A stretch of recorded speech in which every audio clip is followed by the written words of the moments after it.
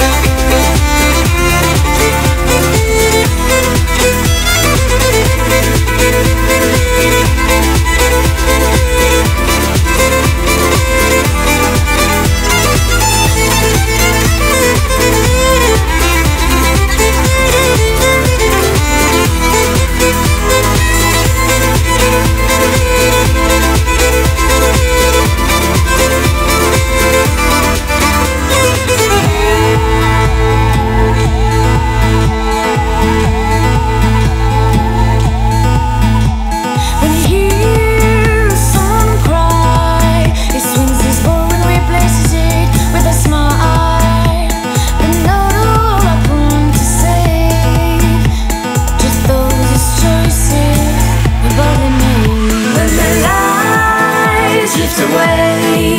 The shadows keep moving as it was like any day. And now it stretches his arm, closes his hand on his glowing violin. There way to many intense to use to keep on all the shadows in.